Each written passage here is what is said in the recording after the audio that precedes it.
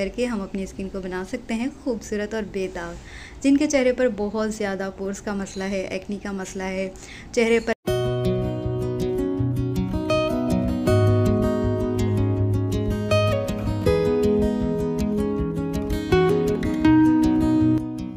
वालेकुम तो जनाब, कैसे हैं आप सब? उम्मीद है कि आप सब खैरियत से होंगे। अल्हम्दुलिल्लाह, मैं भी बिल्कुल ठीक ठाक अपने व्यूवर्स के लिए लेकर आई हूँ एक ज़बरदस्त सा फेस मास्क जिसका इस्तेमाल करके आप अपनी स्किन को बना सकते हैं बेदाग खूबसूरत और जवान। जो लोग चाहते हैं कि हम खूबसूरत नज़र आएँ और जवान नज़र आएँ तो फिर ये वीडियो स्किप मत कीजिएगा। वीडियो को फुल वॉच कीजिएगा, ताकि आपको पता चले कि यहाँ पर कौन से इंग्रेडिएंट्स का इस्तेमाल करके हम अपनी स्किन को बना सकते हैं खूबसूरत और बेदाग जिनके चेहरे पर बहुत ज़्यादा पोर्स का मसला है एक्नी का मसला है, चेहरे पर वक्त से पहले झुरियाँ आ चुकी हैं तो उनके लिए बेस्ट है।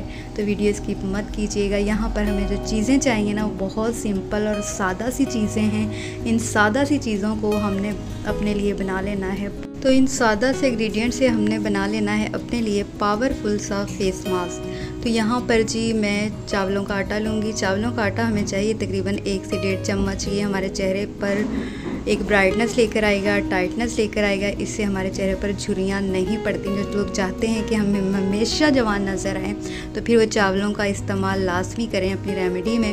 तो फिर जी दूसरे नंबर पर हमें चाहिए हल्दी पाउडर हल्दी पाउडर जो है, ये बहुत ज़बरदस्त है, जिनके चेहरे पर बहुत एक्नी होती है और चेहरे पर निशानात पड़ जाते हैं डार्क स्पॉट्स होते हैं, उनको रिमूव करेगा और ये फिर तीसरा इंग्रेडिएंट्स बहुत ही मतलब ज़बरदस्त है, इतना ज़बरदस्त कि मत ही पूछें।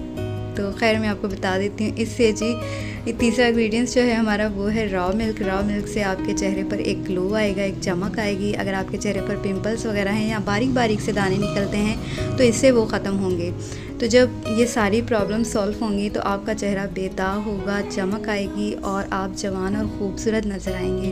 तो इस फेस पैक को आपने हफ़्ते में तीन दफ़ा यूज़ करना रेगुलर महीने तक इसका इस्तेमाल करना है रिज़ल्ट आपको वाज तौर पर नज़र आने लग जाएँगे पहले ही हफ़्ते में। फिर आपका खुद ही छोड़ने को दिल नहीं करेगा।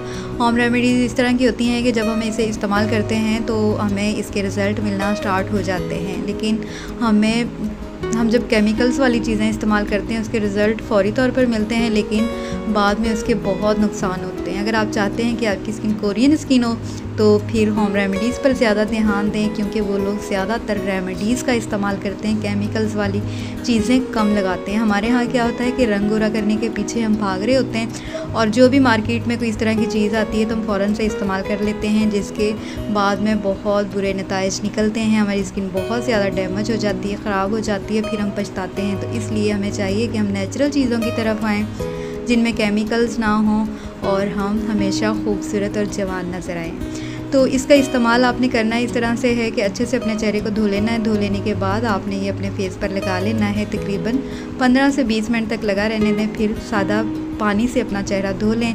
वीडियो पसंद आती है तो लाइक और शेयर ज़रूर कर दीजिएगा। इन फिर मिलते हैं किसी नेक्स्ट वीडियो में। तब तक के लिए अपना बहुत ज़्यादा ख्याल रखिएगा। अल्लाह हाफिज़।